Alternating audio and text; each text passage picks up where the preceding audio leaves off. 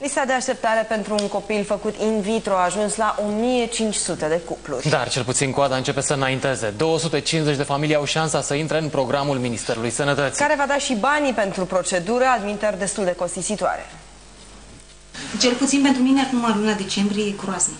Sunt atâtea, atâți părinți cu copii de mână. Să vezi că mergi acasă și mergi degeaba. Este drama pe care o trăiesc femeile care nu pot avea copii. Nicoleta a încercat de trei ori fertilizarea in vitro și a cheltuit mii de euro. Acum a ajuns într-un punct mort. Nici măcar credit nu mai poate face pentru a patra încercare. Nu îi respinde pe cei de dinainte, ci este un pas înainte.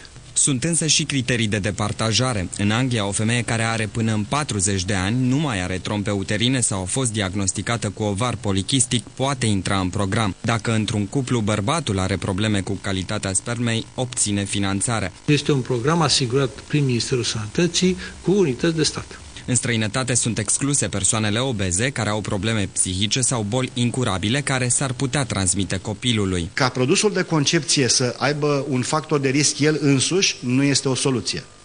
De aceea, în foarte multe țări ale lumii, se optează uh, pentru direcționarea pe uh, adopție mai repede. Dacă nu își permită acest bani, nu au bani pentru fertilizare, ar trebui ajutate mai întâi aceste cupluri. Ministerul Sănătății va înființa un registru unde vor fi centralizate toate dosarele cuplurilor infertile, însă vor apărea și liste de așteptare. În primul an, banii ajung doar pentru 250 de cupluri, deși în România cel puțin 1500 de familii își doresc copii și nu-i pot avea.